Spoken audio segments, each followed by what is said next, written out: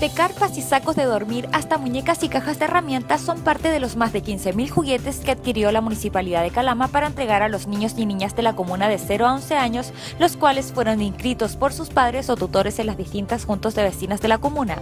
Para este año se incluyeron dos novedades. Una de ellas es ampliar el rango de edad para los niños y niñas y adolescentes en situación de discapacidad con problemas cognitivos hasta los 20 años.